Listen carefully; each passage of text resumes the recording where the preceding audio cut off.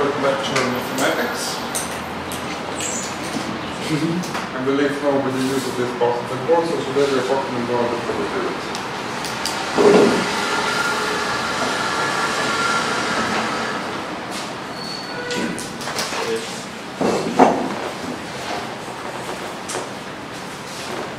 As before, as usually, we will talk both about things that we are supposed to know for the exam and also things that uh, it would be nice for know before the course, but not necessarily at the exam.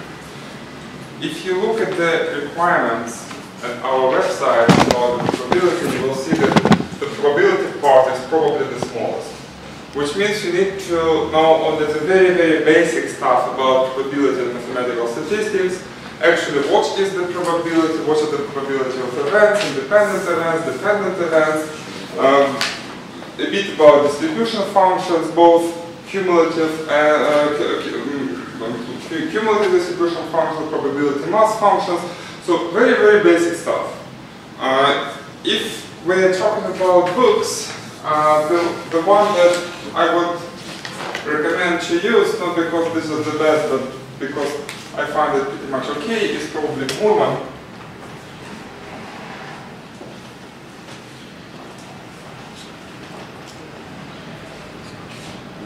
This is a pretty old book. Uh, if you read approximately 100 and 150 pages out of this book, it should be enough.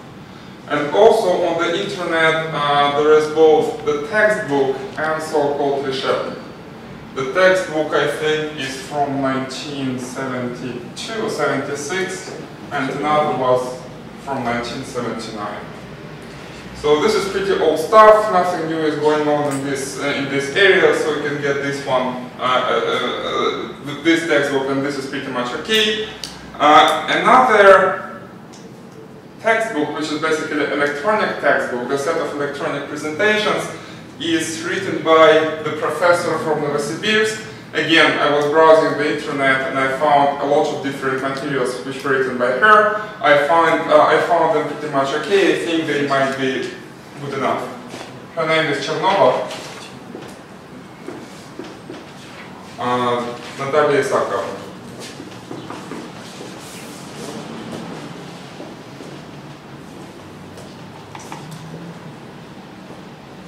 She is from Novosibirsk and she has uh, several electronic textbooks both in mathematical statistics and in probability theory. Both of this stuff is in Russian. Uh, I think there's, uh, there should be something in Ukrainian.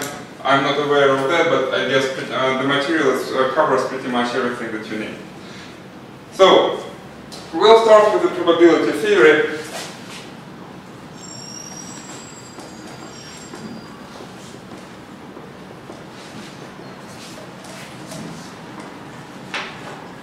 Kind of trying to adjust to those new markers. The previous one we had, they were a bit thicker.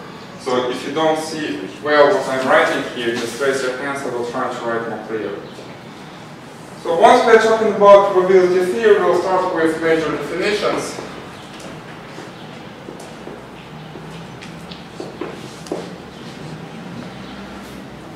And the very basic definition that we are going to use in the probability is the event. This is something that we cannot define. Event, when something is happened, this is some happening. So events can be sure event or certain event.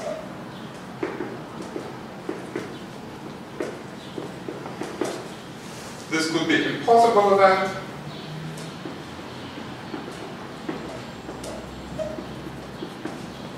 And the last one is the regular event.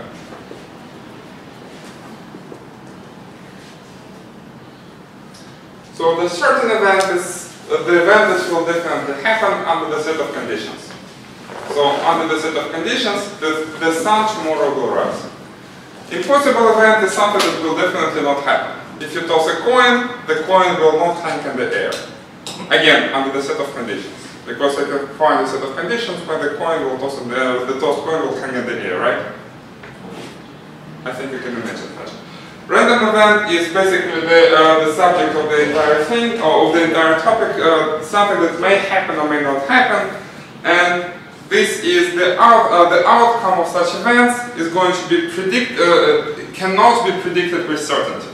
So the event happened, but what kind of event happened we don't know. So this is what, uh, what is called the random event. Outcome is uncertain.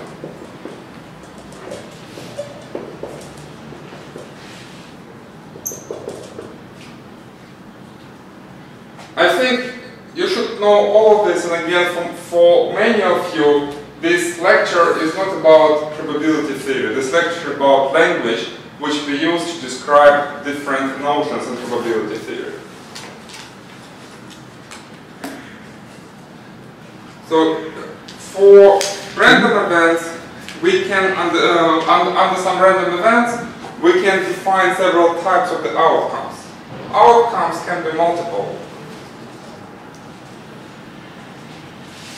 Which means more than one outcome is possible. Outcomes are uncertain, which means we don't know what will happen. And what is important is the repetition of the experiment. The experiment can be repeated.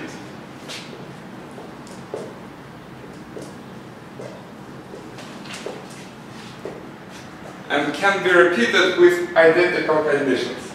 Identical.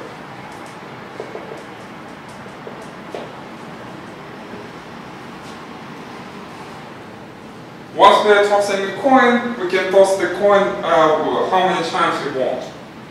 If we want to measure the GDP, again we can uh, we can measure the GDP as many times as we want, in every month if we use the same uh, if we use the same technology, if we use the same methodology, we are going to use we are going to have a different amount of GDP, and we are not very much sure what amount of GDP is going to happen next month. So in this sense, GDP amount is also uncertain uh, is also uncertain event. This is the random variable. Uh, also, uh, if you ask uh, if you're uh, if you're a girl and you would like to marry this boy, hearing, if you marry me, it's kind of uncertain event. If you propose to the girl and say, uh, say will you marry me, uh, yes is also kind of random answer. It's not exactly random, but uncertain, right? So we assume that uh, those elementary events would be incompatible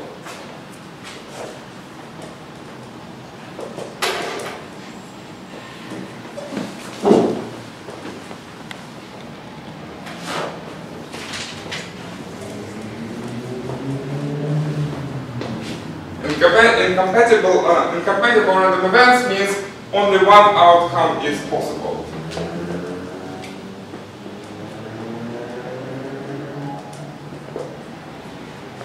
So in the answer, will you marry me, you will probably not want to hear yes, no, probably. Only one outcome is possible. And also,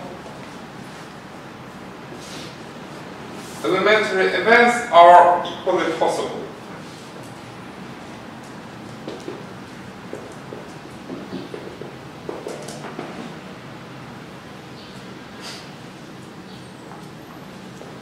And immediately some example.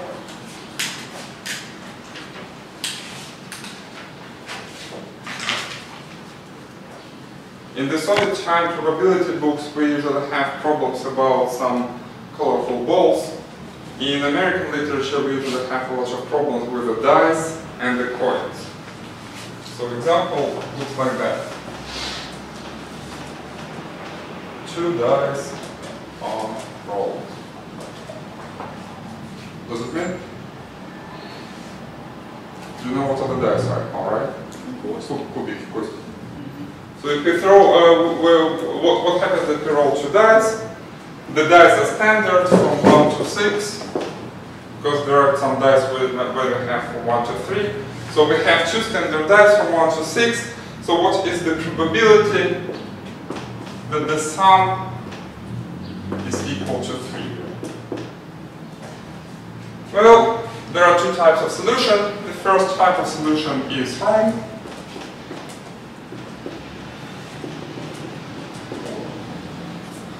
Wrong solution means we have two possible outcomes.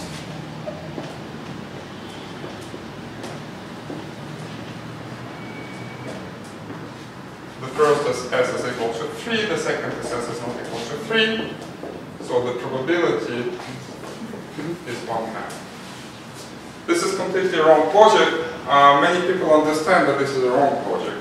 Not too many people can explain why. Can you explain why? Why is this logic, logic wrong? they're not equally possible. Yes, they're not equally possible. Those two outcomes are not equally possible, and this is the key here.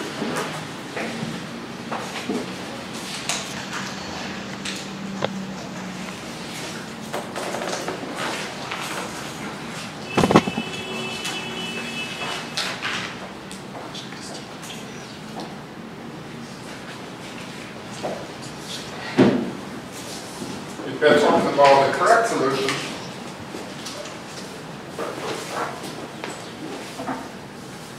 then we have totally 36 outcomes, which means 1, 1, 1, 2, 6, 6. Out of these 36 outcomes, only two outcomes lead to the case when s is equal to 3. So this one, 1, 2, and 2, 1. So the probability here is 2 out of 36.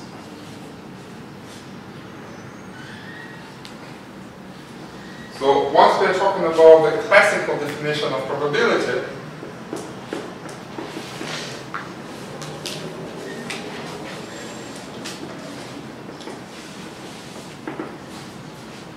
then probability of the event is defined as the relative frequency.